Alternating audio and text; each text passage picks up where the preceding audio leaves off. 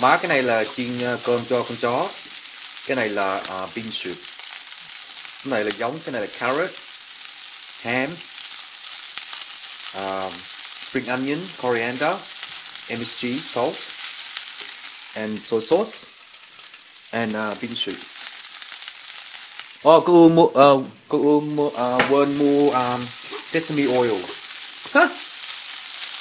Cái này là uh, 86, 92, 75, 83, 84, 92, 60, 18, 19, 45, 47, 18, 19, 20, 24, 23, 26, 27, 28, 1 chịch, 12, 1 chịch, 12, 1 chịch, 14, 1 chịch, 15, 1 chịch, 16, 1 chịch, 1 à, 1 chịch, 1 à, 7, 1 chịch, 1 một 19, 1 xào, 18, 1 xào, 17, 1 xào, 12, 1 xào, 13, 1 xào, 114, 1 xào, 114, 15, 80 chục, GF29 and GF28 frying food à, 84 xong rồi má.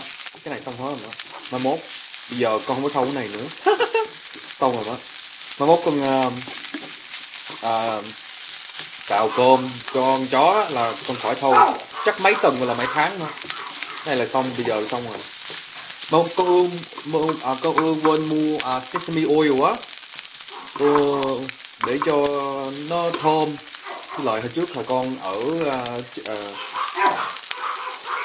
uh, trường 11 trường 11 á cái ờ, uh, bà bỏ cái sesame oil với loại tiêu. À, cái mùi nó thơm lắm vậy nó ăn nó hơi nó hơi cay cay á mà. Mà không phải ớt nó không có ớt mà nó hơi cay cay.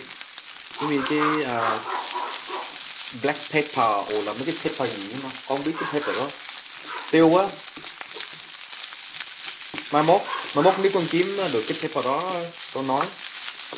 Mà bây giờ cái con quên mua cái sesame oil mai mốt con mua cái sesame oil với lại cái pepper mà mai mốt con nấu cho con chó với lại con nấu cho con với con Gary luôn. Ăn cái đó mà ăn cái này à, nhiều nếu ăn nhiều quá không có ngon mà tiền sao? Mai mốt không hết rồi mà.